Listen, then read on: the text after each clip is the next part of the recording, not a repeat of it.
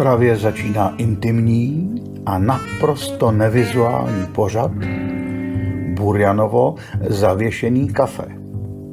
Já vás vítám a přeju příjemný poslech.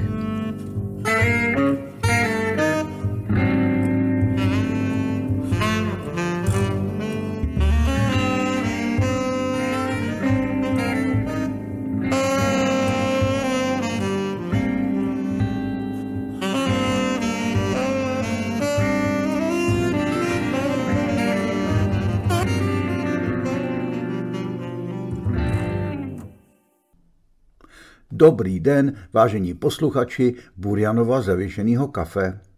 Vítám vás při poslechu 87. dílu tohoto podcastu a zvu vás na další část čtení na pokračování z knihy nazvané Ostrovy, majáky a mosty a neb podivuhodná dobrodružství suchozemce v Balckém moři.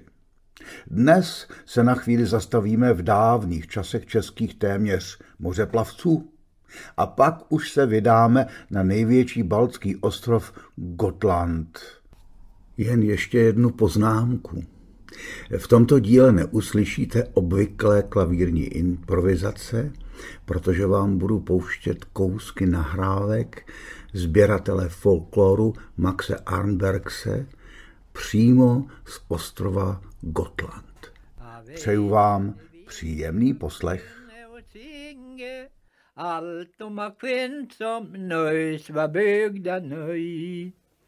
Där kvinn var byggd bad med jaul och med trombe och maken finns inte på Hajleisöj. Ostrovy, majáky a mosty, aneb podivuhodná dobrodružství suchozemce v Baltském moři, část sedmá. Det skulle jag male i dagarna tre. Men nå er han... Kapitola pátá, ve které zanecháme suchozemce kdesi na velké lodi a naskok se vrátíme v čase i v prostoru, abychom uctili své předky tak, jak náleží kapitola pátá, ve které autor v krátkosti poukazuje na tři příběhy svých krajanů spojené s Baltským mořem. Na tomto základě se pak rozhodně nesnaží vyvracet závěry etymologů, že totiž okolnosti vzniku slova ostrov v českém jazyce ukazují na náš suchozemský prapůvod.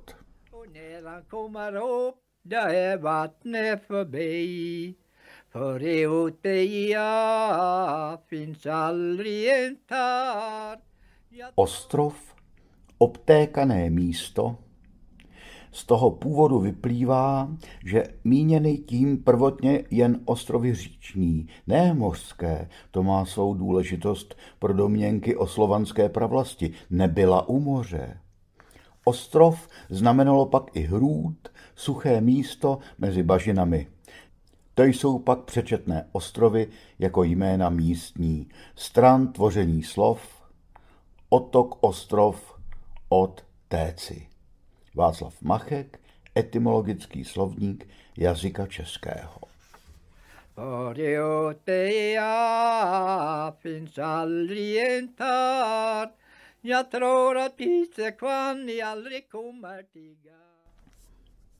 Hle, bratři, Koncem prvního tisíciletí nastoupil v Gdaňsku na loď svatý Vojtěch, první český biskup a také první Čech, o kterém je známo, že se plavil po moři.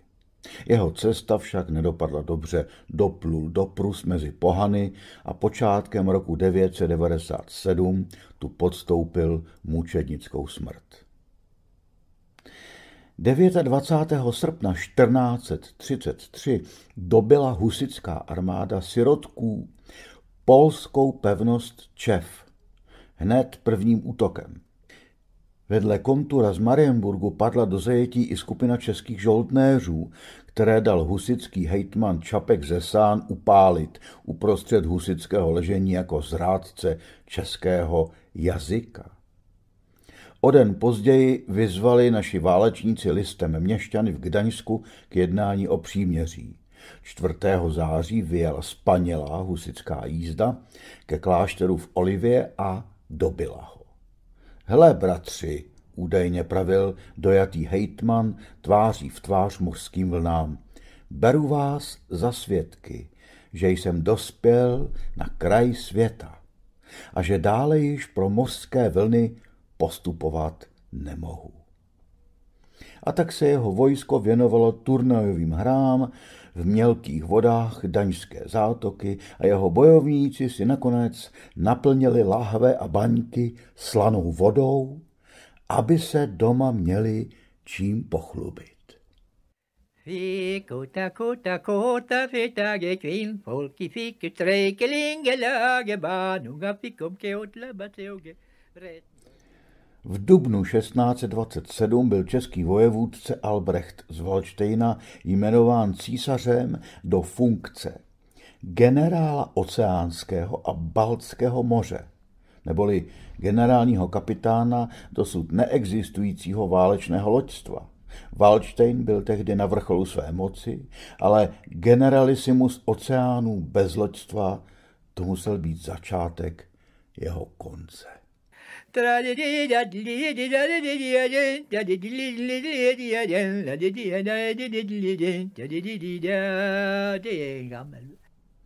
Gotland. Kapitola šestá, ve které suchozemec zavítá na největší baltský ostrov, seznámí se s mužem alergickým na elektřinu, s ďáblem o dvou tvářích, s komedianty, se zasvěcencem, jenž telefonuje z mohyly neznámo kam, a také s krásnou ostrovankou, která bojuje proti zlodějům pokladů. Nakonec náš hrdina při procházce kamenným labirintem odhalí smysl staré legendy. Kapitola šestá, ve které se ostrov vynořuje a zase mizí a v níž hrají významnou roli živé barvy a odlesky světla, ale hlavně kameny, jež tu jsou zastoupeny v navršených mohylách i pravěkých lodích, městnány v městských hradbách i zdech středověkých domů v rozvalinách kostelů i dlouhých venkovských ohradách menhýry, vzácné kameny popsané runami či pokreslené obrazy a symboly, vysoké rauky i ostrá skaliska, odtisky pravěkých živočichů, mořem ohlazené oblásky.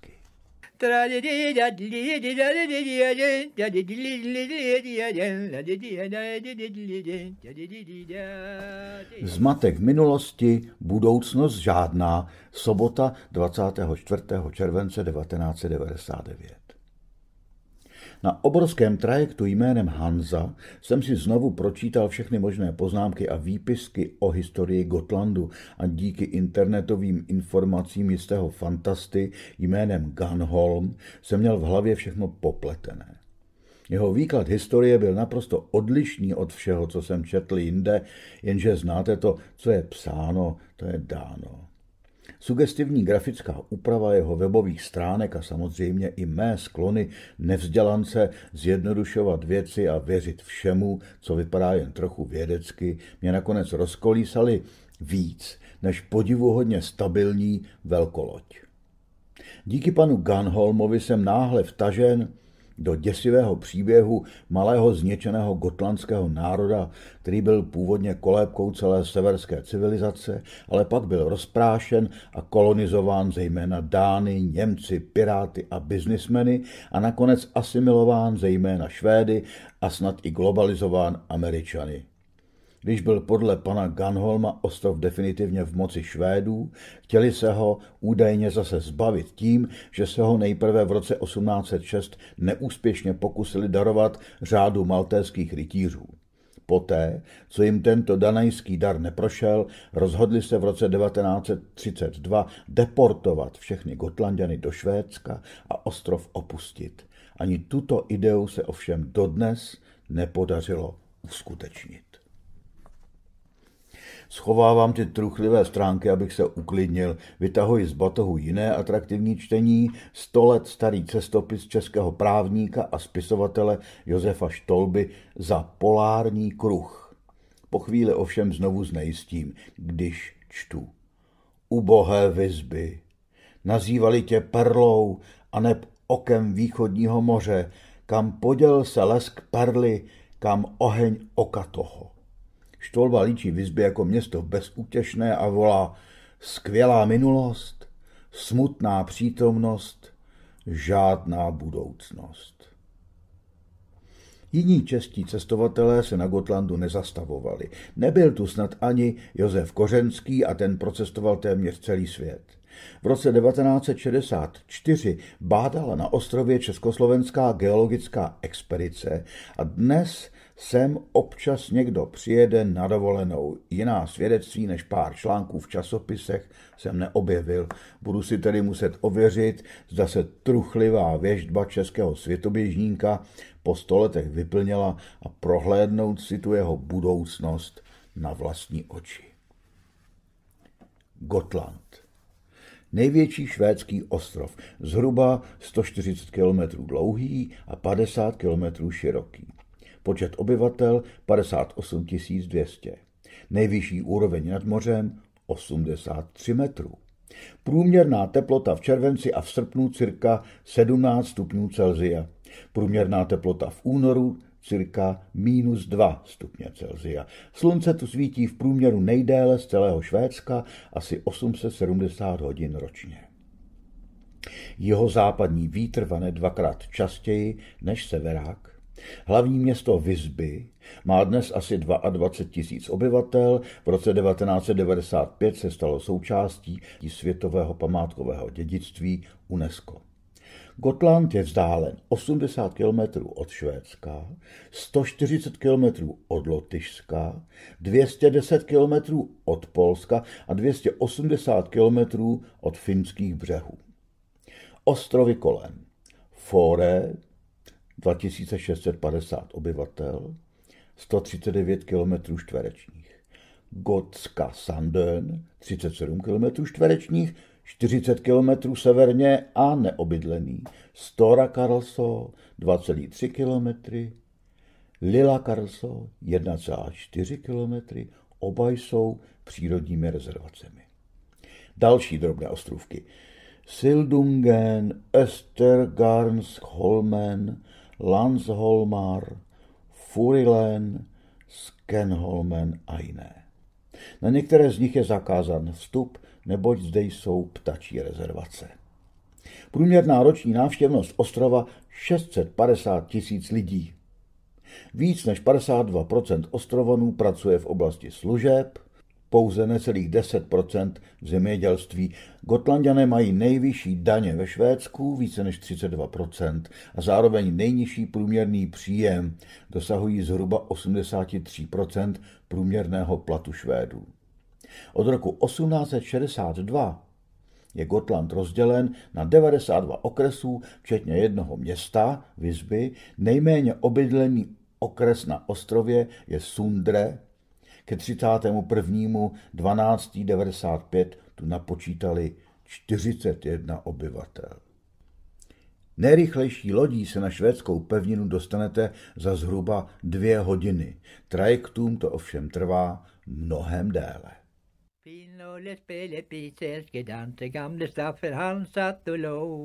Hans gamle gomma drog i sin lomma drog upp en gammal sko. Svein ryggen, Gerde brilla upp. Báječný středověk. 1050 až 1525. Michel Mola du Jardin, Evropa a moře. Cituji. Moře představovalo jakýsi geometrický prostor, v němž docházelo ke konfrontaci nebo naopak zbližování etnicky odlišného, ale životními podmínkami zpřízněného obyvatelstva. Život námořníků v Severomoří je toho dokladem. Totež platilo také pro Baltské moře. Jeho vody brázděli Germáni, Slované, Skandinávci i Finové a jejich představitelé žili vedle sebe ve schodě v gotlandském přístavu Visby, a to navzdory nepokojům, které zde vypukly ve 14. století. Konec citátu. Středověk, pokud věříme historikům, trval na Gotlandu zhruba od roku 1050 do 1525 od příchodu křesťanství po reformaci. Ostrované si v této době převážně vládli sami, měli svůj parlament, guvernérem byl městský soudce. V nejšťastnějším období rozkvětu zastupoval na Gotlandu švédského krále Vyslanec, který se staral víceméně jen o vybírání daní pro královskou korunu. Za to měl panovník poskytovat ostrovanou ochranu a do politických a hospodářských otázek se nepletl. Na ostrově bylo tehdy kolem 15 stovek statků. Jejich hospodářství zřejmě velice prosperovalo. Za dvě století dokázali sedláci postavit a vyzdobit téměř 100 kostelů. Statek většinou dědil nejstarší syn, ostatní synové se věnovali obchodu, vyráželi do světa a využívali svých tradičních kontaktů zděděných po vikinských předcích. Měli styky v západní a jižní Evropě a na druhou stranu se přes Rusko dokázali dostat až do Orientu či do Říma. O tom svědčí staré zlaté a stříbrné mince, jež si ostrované často před případnými pirátskými loupežníky ukrývali pod zem. Rozkvétalo i město Vizby. Stavěly se kostely, domy s bohatými fasádami, opevnění či věže. Do města se stěhovali cizí obchodníci, vznikala zvláštní mnohonárodní společnost, která se vyznačovala všeobecnou prosperitou. To jen autor dějin Německa a jeho český překladatel ve vydání z roku 1995 si dovolili označit kvetoucí ostrovní metropoli Vizby za německou osadu na Gotlandu. Po založení Združení hanzovních měst ve 13. století se stalo Vizby přirozeným centrem obchodní moci v Baltském moři. Hanza slučovala ve svém vrcholném období dvě stovky měst od Ruska po Portugalsko. Ovládla obchod v severní a západní Evropě, podařilo se jí skrotit piráty, i když je občas využívala ve svůj prospěch. Většinou se ale násilí vyhýbala a jako rafinovaně vedená hospodářská organizace používala jiné způsoby boje. Blokády, různé finanční postihy a sankce, diplomatickou taktiku. Vizby bylo sice z vedoucí role postupně vytlačeno Libekem, ale setrvalo ve svazku hanzovních měst až do roku 1476. O životě v tomto slovutném hanzovním městě do poloviny 14. století mohou podat svědectví středověké kamenné domy, které jsou dodnes nejen dokladem schopnosti tehdejších stavitelů, ale i tloušťky peněženek svých majitelů.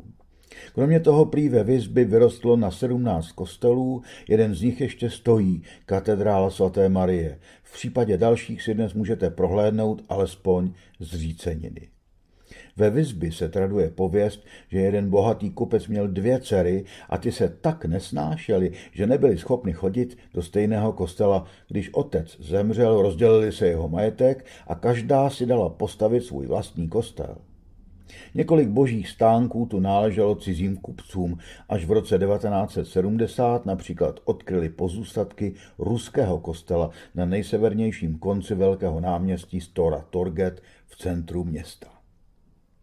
Obchod a řemesla ve Vizbě regulovaly četné zákony a předpisy systémem bankrotů, detailním popisem, jak vykládat a nakládat lodi a podobně.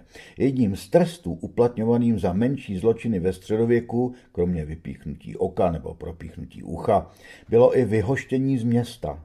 To se týkalo zejména zlodějů. Menší zločiny, tahání za vlasy nebo rušení nočního klidu se tak drasticky nepostihovaly.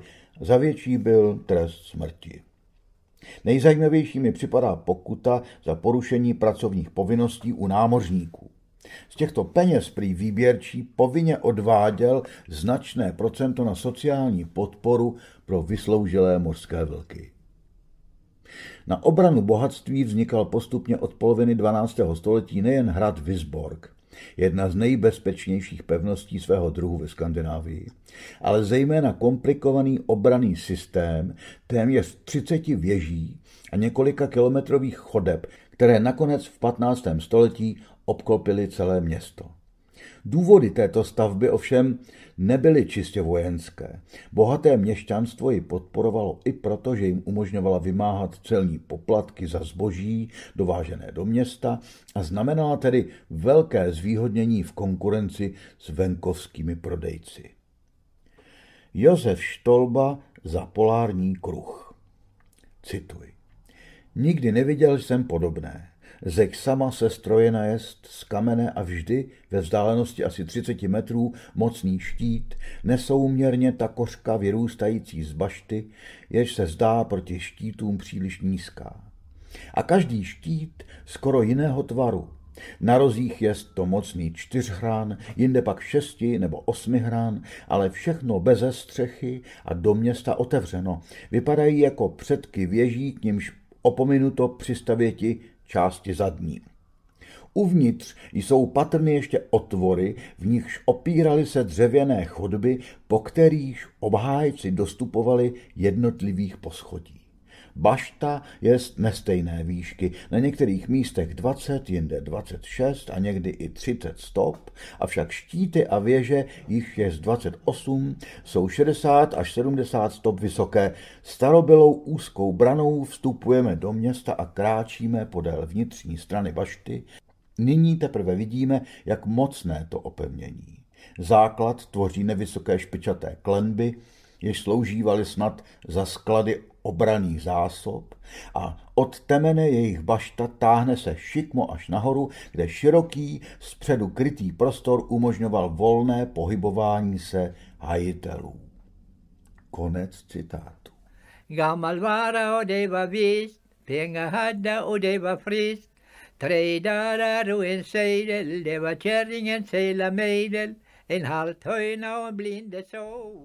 Rozpory obyvatel Vizby se zbytkem ostrova vedly v roce 1288 k občanské válce, kterou brzy ukončil švédský král Magnus I. tím, že obě strany donutil uzavřít mír a město muselo panovníkovi vyplatit vysoké poplatky za nelegální stavbu zdí. Několik krvavých bitev rozpoltilo obě strany na dlouhou dobu. 14. století přineslo Gotlandu řadu pohrom, bouře, ledové zimy, uhynutí dobytka a epidemie. V roce 1361 vtrhl na ostrov dánský král Valdemar IV. Atterdag. Jeho jméno někteří interpretují jako Jitřenka, jiní vysvětlují jeho původ tak, že rád odkládal věci na jiný den Atterdag. Krvavá lázeň, v níž Jitřenka utopil venkovské bojovníky před hradbami Vizby, prý za divácké asistence městských obyvatel ukončila zlatou éru gotlandské historie. Podle některých pramenů padlo přibližně 1800 obránců ostrova. Vykopávky počátkem 20. století potvrdili tento počet i krutost bitvy. Co však, jak se zdá potvrzeno, není, je legenda o dobytí a vyplenění Vizby. Valdemar neměl zvláštní důvod město ničit, neboť poslechlo jeho nařízení. Podle některých pramenů dokonce občané vyšli Valdemarovi vstříc před brány. Legendy sice vyprávějí o tom, jak bořil a drancoval, ale zdá se, že se nic z uloupeného zboží v Dánsku nedochovalo. Na to mají legendy jiné vysvětlení. Lodi obtížené lupem se potopily v bouři a pohltilo je rozhněvané moře. Člověku se chce přiklonit ke klidnější teorii, že pro krále bylo výhodnější ponechat prosperující město v klidu, když se předtím vyřádil na bezmocných venkovanech. Více než 500 let po této události namaloval švédský malíř Gustav Helquist v Mnichově slavný obraz Vyplenění Vizby v roce 1361. Spisovatelka Selma Lagerlefová o něm napsala emotivní esej. Na obraze je všechno jako živé. Král Valdemar, jeho zuřivé vojsko, měšťané, kteří odevzdávají své šperky do kádí, mnich i chudina. Má jedinou vadu, není na něm zřejmě vůbec nic pravdivého. Ještě zajímavější je pointa legendy o mladé dívce, která se údajně zamilovala do krále Valdemara a otevřela mu brány města.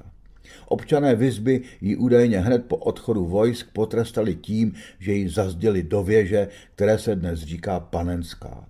Legenda je pravděpodobně umělého původu a pochází z 19. století. Panenská věž byla navíc postavena mnoho let po Valdemarově smrti.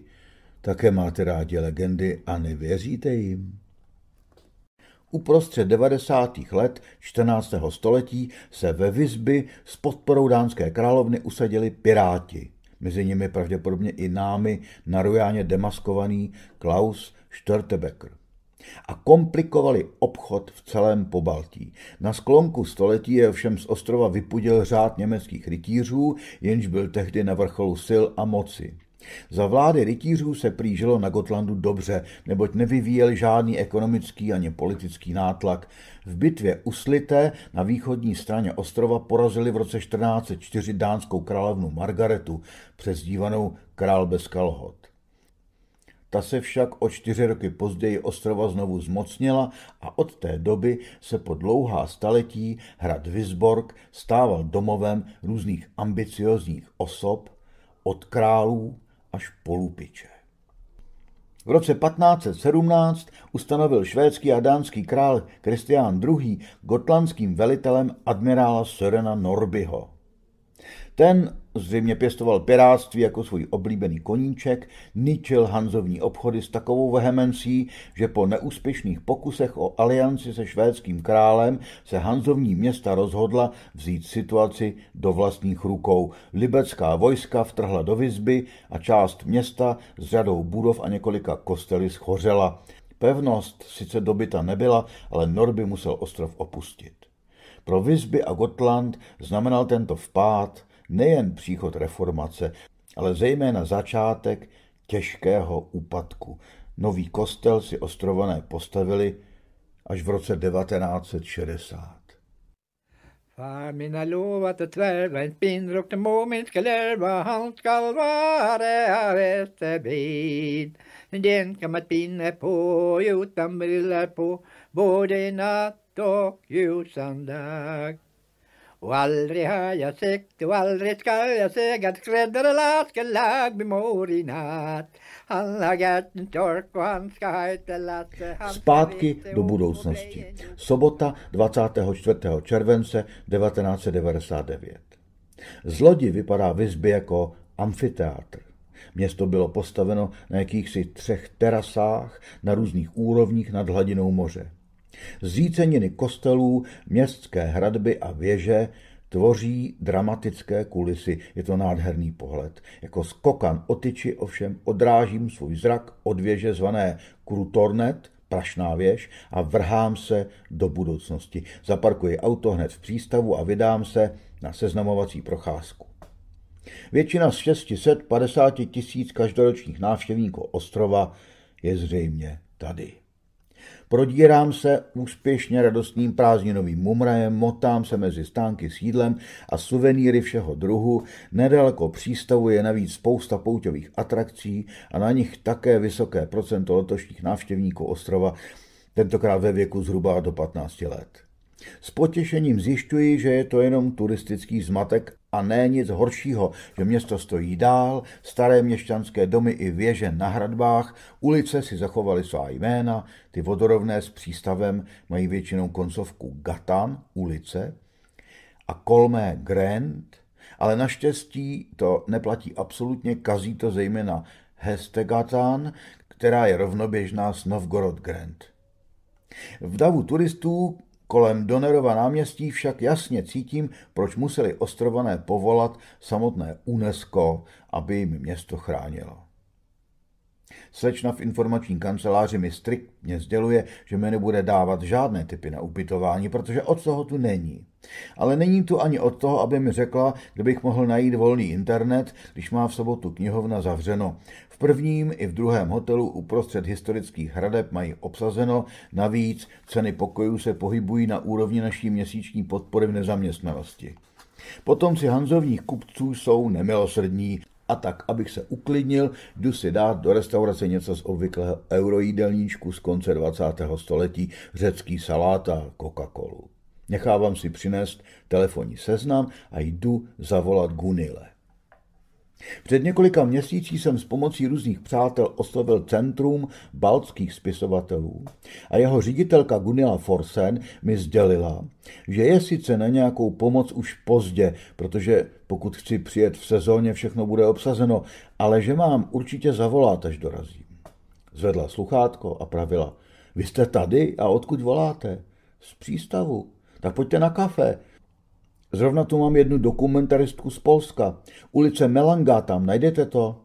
Podle mapy vždycky, řekl jsem suverénně. Když jsem si na městském plánu našel její dům, zjistil jsem, že bydlí uprostřed starého města, v jedné z proslulých středověkých ulic, zkrátka něco jako Karlova ulice v Praze. Polská dokumentaristka zrovna odcházela, pozdravili jsme se po sousedsku a Gunila, kultivovaná dívka středního věku, se mě okamžitě zeptala, jak dlouho na ostrově zůstanu. Pak ukázala na jeden ze svých dvou malých dřevěných domečků a řekla, tady bydlím já, vy můžete bydlet v tom druhém domku, jestli vám stačí, že máte sprchu ve sklepě. Stačilo mi to. Sdělil jsem to své nové kamarádce a ona mi na oplátku dala několik tipů, s kým mluvit a co vidět, trochu mi zorganizovala život a omluvila se, že na mě bude mít málo času, protože musí chodit do práce, abych se z toho leknutí vzpamatoval, dopil jsem kávu a vydal se na podvečerní výlet. Pár kilometrů jižně od města jsem objevil malou rybářskou vesničku Knisford. Byl večer, stíny se prodlužovaly s každou minutou o pěkný kus Slunce si s nimi pohrávalo, barvilo krajinu do syta žlutě a do růžova a několik rodin, které si tu pronajali malé rybářské domky, co si slavilo u desetimetrového stolu plného jídla a pití. Ve třelce s fotoaparátem si nikdo nevšímal. Prolézal jsem hlubokou trávu a snažil se fotografovat domečky ze strany od moře. Stíny, barvy, zvuky i vůně vesničky se mazlivě dotýkaly mých smyslů.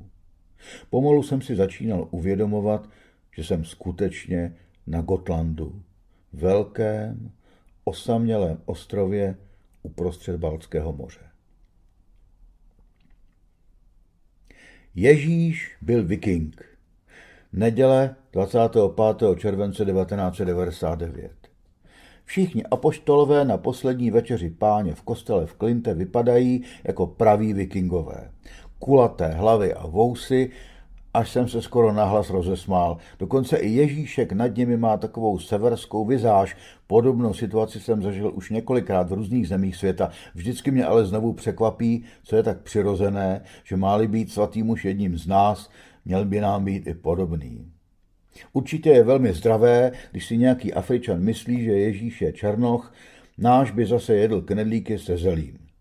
Klinte je ovšem v chrámu páně o zábavu postaráno i jinak. Várhany jsou otočené tak, že hudebník sedí zády k ostatním lidem a aby vyrovnal handicap, má na nástroji přimontované zpětné automobilové zrcátko. Zahajuji putování po gotlandských kostelích. Trochu mě děsí, že je jich téměř sto ale snažím se podle prospektu vybírat ty, které opravdu stojí za to. Když jich prolezu prvních devět, Klinte, Bro, Ethelm, Garde, Lau, Gretingbe, Oja, Vamlingbe a Sundre, snažím se, aby mi nesplynuli v jeden. Množství kostelů v poměru k malému počtu statků je skutečně zarážející. Téměř na každé farnosti mají dodnes uchovaný středověký kostel. Faráři musí často sloužit mše na dvou či více místech. Přesný program najdete v pravidelné rubrice v místních novinách. Žádný z kostelů nevznikl najednou, postupně k němu byly přistavovány věže či jiné části, původní dřevěné stavby se bouraly a nahrazovaly kamennými, měnily se styly i módy. V době raného středověku musel být ostrov protchnut neobyčejným uměleckým duchem a náboženským nadšením.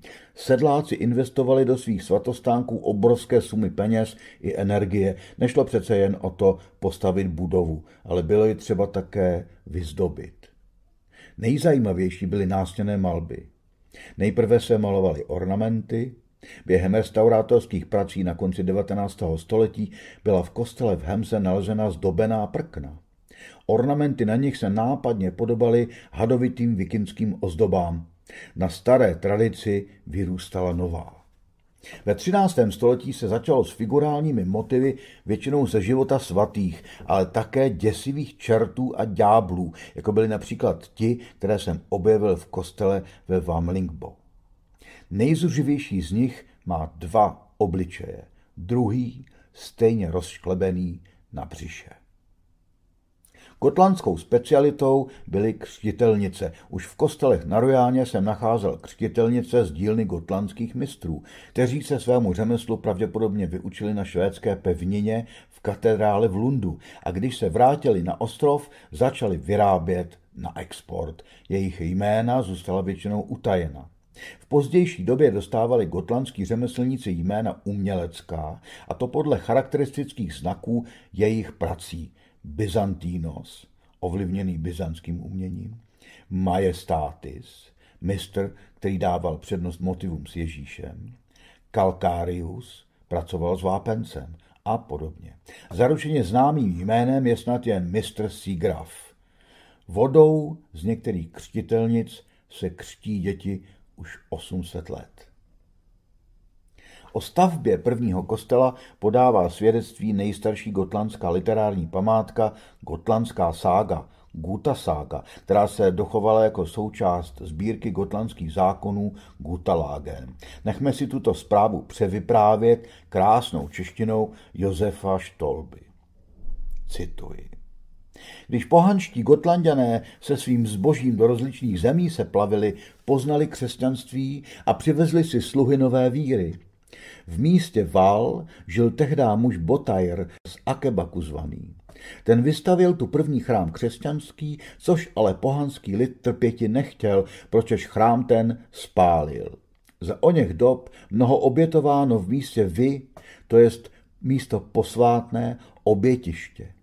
I vystavil zde chrám nový a když lid i tento chrám spáliti chtěl, vystoupil na něj a zvolal, že chtějí tak učinit, musí spálit s chrámem i jej. Avšak Botajr byl bohat a žena jeho byla dcerou muže, jenž slul Likajr moudrý a jenž požíval veliké moci. Ten ujel se svého zetě a pravil k lidu, nespalte muže toho a jeho chrám, neboť chrám ten stojí ve vy, to jest místě posvátném. A lid uposlechl a nechal chrám stát. Okolo chrámu toho povstávalo pak z nenáhla vizby, to jest město obětiště. Stavitelská činnost na Gotlandu ustala s postupným úpadkem země. S příchodem reformace se církevní stánky příliš nezměnily. Protestanti nechávali výzdobu takovou, jaká byla, i malby na zdech přežívali. Většina výzdoby a uměleckých předmětů z kostelů zmizela až v 19. století v době puritanismu. Z oken se ztratily vitráže, stěny byly zabíleny, mnoho sošek se ztratilo a tak se nezachoval žádný kompletní středověký interiér. Na druhé straně se tu nebouraly staré a nestavěly nové kostely, jako v jiných částech Švédska.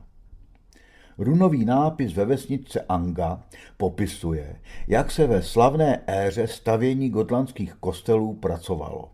Cituji. Dělali tento kostel. Hegmund se čtyřmi volskými spřeženími a Linkvit s dvěma a Ghekvit, Botvit s jedním spřežením a Angmund, Linkvit s jedním volem a Fargair s dvěma, Rolajk s jedním volem a Johan s dvěma voly a Hagvit s jedním a Siguluf s dvěma a Rodvald s jedním a Rodvild s dvěma voly a Haltvat s jedním a všichni lidé, kteří zde pracovali, jmenovaní i nejmenovaní, s božím požehnáním živí i mrtví. Během následujících dnů jsem stihl navštívit ještě kostely Anga, Bol, Fore, Gotem, Hall, Haushooks, Hanvar, Heideby, Kelunge, Lerbro, Otem, Roma, Rute, Stenkirka, tam se zrovna opravovalo, Tingstede, Tofta, kostel svaté Marie ve Visby a Östergarn. A jednu anglickou kapli na Fore a několik kapliček v rybářských vesnicích. Síly mi ovšem nezbyly na kostely Akebek, Ala, Askok, Ardre, Artlingbo, Barlingbo, Björke, Boge, Bunge, Burs, Butle, Dalem, Eke, Ekeby, Exta, Endre, Eskelhem, Fardhem, Fide, Fleringe, Fole, Follingbo, Fröjel a na další a další. Med mjölksuran kom jag till staden, blev bekant med norrbron på paraden. I kryddboden läste jag bladen och fick plats i Hedins bryggeri. Så vill jag det så gärna veta, alla mina namn vad jag heta.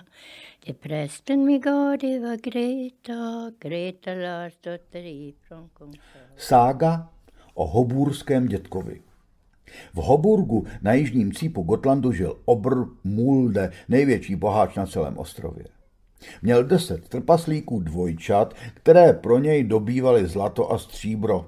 On sám ze všeho nejraději přepočítával své bohatství. Sedlákovi v sousedství se narodila dcera a tak chystal křtiny a hostinu.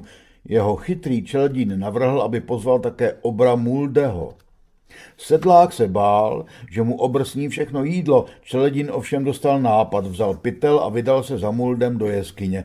Uctivě a s mnoha poklonami ho pozval na oslavu. Obr byl potěšen a ptal se, kdo další je pozván. Čeledin jmenoval svatého Petra a akého Tóra. Tak to nemohu přijít, to jsou mý nepřátelé, řekl Mulde. Ale dárek ke křtinám vám samozřejmě dám, nechci být ten nejhorší, dodal Obr a naplnil pytel stříbrem tak, že ho čeledín sotva unesl. Sedlákova dcera vyrostla a přivdala se na velký statek. Brzy začal naříkat, protože práce byla těžká a ona ji nemohla zvládnout. Když to Mulde uslyšel, začal foukat a přifoukl své trpaslíky palečka, ukazováčka dlouhá na prostředníka, prsteníka a vtipálka malíčka ke konečkům jejich prstů, takže práce jí hned začala jít od ruky. Jednoho dne obra Muldeho zasáhl bůh hromu Thor svým bleskem. Obr skameněl a od té doby se tomu kameni říká Hoburský dědek. De kallar mig slet Carolina sedan Jenny Agaron och Josefina Angeli Leventin Wilhelmina Lydia Henrietta och Sofie. To byla informace z kreslené pohlednice, zakoupené v nejjižněji položeném gotlandském stánku pro turisty. Všimněte si, drazí čtenáři, jak se tu mísí křesťanský svatý s pohanským bohem Tórem. Nejsem si tak jistý, že by náš svatý Petr snesl ve své předpovědi počasí Peruna. Ostatně náš sedlák by ho také těžko zval na křtiny. Hra o dětkovi z Hoburgu byla donedávna i na repertoáru amatérské divadelní skupiny Botarvesteatern z jeho gotlandské vesničky Vamlingbo. Dodnes mají na programu Proutěné křeslo, klasický kousek od významného gotlandského autora Davida Alkvista 1900 až 1988. Alkvist byl všestranným umělcem, maloval obrazy, dělal lepty, psal dramata, novely, skládal hudbu, byl gotlandianem tělem i duší. Jeho proutěné křeslo uvádí dnes večer v místním divadle Společnost pro kulturní rozvoj venkova v Hoburgu. Lístek je neuvěřitelně drahý. Kupuji si ho trochu s nechutí, ještě netuším, že v ceně je zahrnuta hostina, švédské nebo raději gotlandské stoly, plné lahůdek a dobrot všeho druhu. Komu se nebude líbit představení, spraví si chuť vybranými lahůdkami. Já beru obojí. Divadlo se hraje ve Stodole, hostina se bude konat ve dvoře velkého statku předělaného na jakési kulturní středisko. V půl osmé večer přichází asi 60 lidí, Stodola se otevírá a vcházíme do příjemného interiéru venkovského divadla. Někteří diváci jsou oblečeni velmi slavnostně, jiní docela obyčejně. Mladí manželé vedle mě tu mají dokonce i kočárek se spícím dítětem. Když se začalo hrát, maminka zakryla kočárek z části sakem, aby dovnitř nevnikaly výkřiky herců, ale dítě se stejně během hry probudilo a jako by sledovalo děj, občas se nahlas zasmálo. Statkář Elov slaví narozeniny 70 a čeká velmi mnoho přátel. Nikdo však nepřichází. Jeho žena se dívá z okna, vidí souseda, jak nese proutěné křeslo a tak ho zve dál a zjišťuje, že vůbec nejde o dárek, že na tu oslavu nakonec nikdo nepřijde. A neb, jak říká Jiřina Šiklová, stáří má člověk takové, jak si to v mládí zařídí. Po představení jsem se dozvěděl, že herci mluvili gotlandským dialektem, gutamol, což se neřídí ani tak původní alkvistovou předlohou, jako spíš místem, ze kterého pocházejí všichni čtyři herci. Na Gotlandu je nářečí víc. Výhodou použití dialektu na divadle je značná autenticita dialogů. Nevýhodou může být, že ti, kteří tento dialekt neovládají, mohou trochu hůř rozumět ději. Já například jsem takové problémy neměl. Nepotřeboval jsem ani nahlížet do slovníčku, který byl otištěn v programu, ale některé odlišnosti gotlandštiny a švédštiny jsou skutečně podstatné, posuďte sami. Česky chlapec, gotlandsky sork, švédsky pojke, česky dívka, gotlandsky töjs, švédsky flicka, jezero, moře, gotlandsky tresk, švédsky sjö. Moře, gotlandsky sjön, švédsky havet.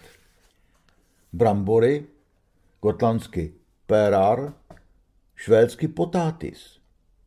Ovce, gotlandsky lamp, švédsky for. Jehně, gotlandsky lambungar, švédsky lam. Káva, gotlandsky kafy, švédsky kafe, dopolední káva, kluku tej, švédsky formidaxfika, odpolední káva, gotlandsky otendák, švédsky efermidaxfika. Inscenace mě nadchla. Herci hráli s velkou chutí, Publikum se bavilo. Znovu jsem si uvědomil, jak okouzlující mohou být klasické divadelní prostředky, když se vyvarujete profesionální rutiny a jak je divadlo jako žánr nesmrtelné. V nadšení jsem se zapomněl vrhnout na drahou večeři a místo ní jsem požádal oba hlavní herce o rozhovor. Jsme všichni sousedi, pravila paní Gusty Larson, představitelka hlavní ženské role Liven, manželky oslavujícího sedláka. V našem divadle nikdo není ředitel. Je to amatérské divadlo a všichni čtyři dojíždíme na zkoušky i na představení na kolech, dodal její jevištní partner Roland Olson. Já jsem povoláním novinář, Gusty je učitelka v nedaleké škole. Goethe je místní rodák, dřív pracoval jako průvodce a Anita je knihovnice. Jak vás napadlo uspořádat divadelní představení z večeří? Viděl jsem v těchto prostorách před třemi lety podobné divadlo, tak jsme chtěli zachovat tradici. Dneska jsme měli 17. letošní reprízu, hrajeme teď pětkrát týdně. Hráli jste v gotlandštině. Je velký rozdíl mezi ní a švédštinou? Ano, pravila žena, ale i jiné kraje se mezi sebou jazykově dost liší. Vy se cítíte jako švédové nebo jako gotlandiané? Jako gotlandiané, řekl muž. Tady to není ta samá rychlost, jako ve Stockholmu. Švédsko to je pro nás Stockholm, upřesnila herečka. Když mluvíme o Švédech, myslíme těm lidi ze Stockholmu. A jaký je vlastně váš vztah ke Švédsku? Žena se usmála. Jak kdy? Spojení s pevninou je špatné a drahé. Vláda se k nám chová tak trochu, jako kdybychom nebyli součástí země. Někdy, když vidíte ve zprávách o počasí v televizi mapu Švédska, Gotland tam chybí. A ve 30. letech jeden poslanec v parlamentu řekl, jestli Rusové chtějí Gotland, tak jim ho nechme. Pravil pan Olson a s nadhledem dodal, no, naštěstí zůstal sám. A vy byste se chtěli osamostatnit? Zeptal jsem se. Žena odpověděla okamžitě. To jistě ne, jsme jen značně hrdí na to, že jsme z Gotlandu. A v čem jsou tedy hlavní rozdíly mezi lidmi z pevniny a Gotlandiany? V jazyce, v rychlosti, v kultuře, v historii, v myšlení, pravil muž a použil přitom pro zdůraznění všech pět trpaslíků obra Muldeho. V myšlení? My máme přírodní způsob myšlení. Není pro nás tak důležité vlastnit nejnovější auto nebo mobilní telefon. A co je pro vás důležité? Být svobodný. Nemyslím nezávislý na Švédsku, ale svobodně žít, řekla žena a muž ji znovu doplnil. Je tu trochu volnější způsob života, nemusíte být pořád ve spěchu. Ani když pracujete jako novinář? Zeptal jsem se. Ani tehdy. Přesto hodně mladých lidí mluví jen o Stockholmu a odcházejí tam, řekla žena. Teď tu máme naštěstí gymnázium, to je pro nás velmi důležité. Také se tu rozvíjí průmysl, takže se lépe daří udržet na ostrově mladé. Chtěli bychom, aby nové generace byly hrdé na to, že jsou z Gotlandu. Já se je to alespoň snažím učit ve škole. Cítíte, že by turistický ruch nějak nepříjemně deformoval váš způsob života? Zeptal jsem se pro změnu muže. Ani ne, řekl. To trvá tak měsíc v roce, po zbytek roku tomu tak není. Alespoň tady na jihu. Horší to bude na severu, na Fore, dodala žena. Tam je strašně moc lidí a ti mají spoustu peněz. Zasmála se. Mimochodem, ta nejlepší část Gotlandu je tady. Připili jsme si na to a šli se podívat, co na gotlandských stolech ještě zůstalo. Poněkud jiný spektákl se odehrál o pár desítek minut později, 20 metrů od silnice na břehu moře. Z protější velky vyšla početná rodina, prarodiče, rodiče, spousta vnoučat a pes.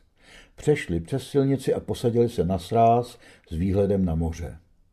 Slunce, protagonista všeho, pomalu odcházelo za scénu, propadalo se do mořské hladiny a vyluzovalo takové barvy, jako kdyby se loučilo na věky. Rodina se zaujetím sledovala děj, lidská mláďata a pes, tedy publikum, které z toho ještě neměl rozum, se mírně povalovalo po klínech svých bližních.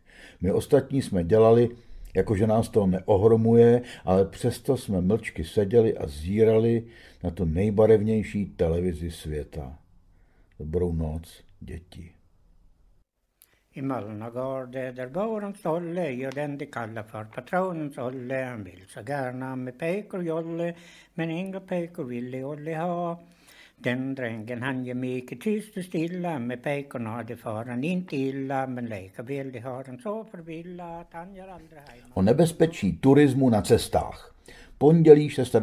července 1999 kde si na počátku byla touha po poznávání světa a velké sportovní nadšení. Klasický turista v dobrých botách s chlebníkem a pumpkami objevoval krásy přírody a pěstoval kulturu těla i ducha.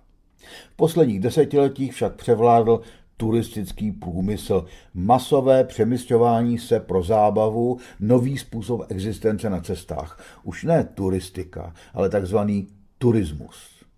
Ten přinesl podobně jako jiné izmy 20.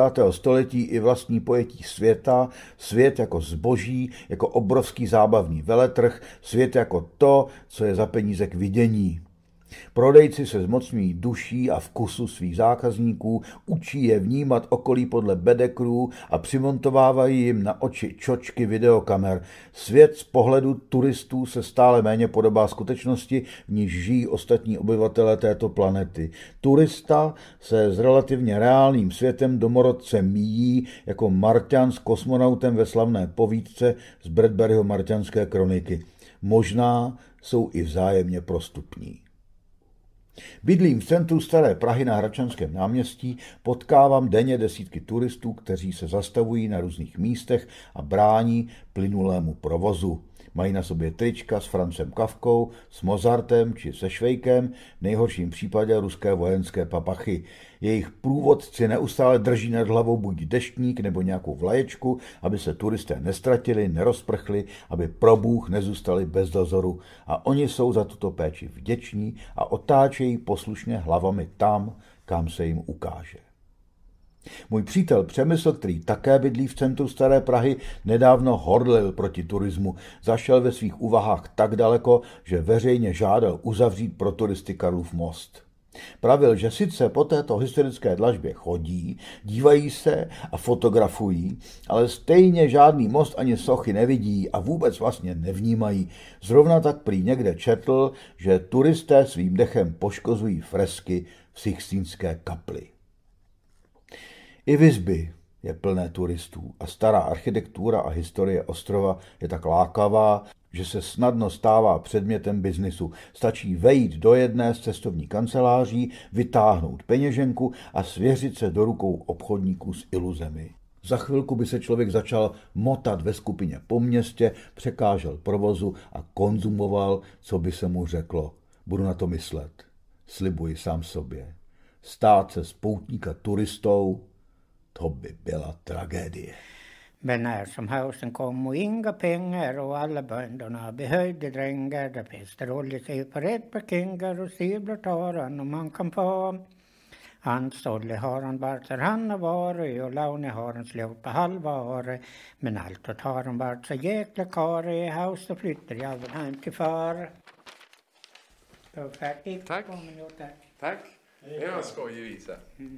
Tak, a to je pro dnešek všechno. Jen ještě několik nutných informací o tomto podcastu. Po díle cestovatelském ani příště nezůstaneme doma. Pravidelný rozhovor bude tentokrát zasvěcen dámě, která se rozhodla pomáhat v Africe. Nenechte si ji ujít, budete možná překvapeni. Další dva díly podcastu pak budou jako obvykle věnovány písním.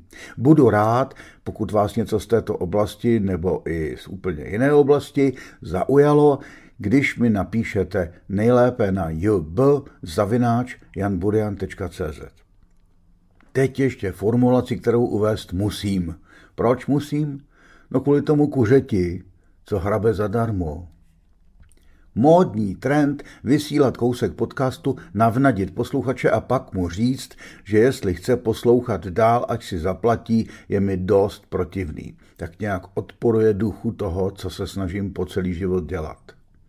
Rád bych, aby můj podcast mohli poslouchat i ti, kteří nechtějí nebo nemohou za něj platit. Jak to ale udělat a oslovit přitom ty, kteří tuší, že taková práce úplně zadarmo nejde dělat a že to kuře, které si hrabe jak chce, potřebuje občas trochu zrní, jinak se unaví a chcípne. A tak to říkám takhle. Jestli to kuře chcete podpořit, neváhejte a nebojte se. Když mu pošlete část svého kapesného nebo i dědictví, neurazí se. Můžete mu nasypat libovolné množství zrní na účet 478 399 8003 lomeno 0800, anebo si zřídit stálý bankovní příkaz podle vašich možností a krmit to zvíře pravidelně. Děkuji za pochopení. Mějte se hezky a příště zase na Gotlandu a možná i na ostrově Fore, kde žil Ingmar Bergman. Uvidíme. Zdraví vás, Jan Burian.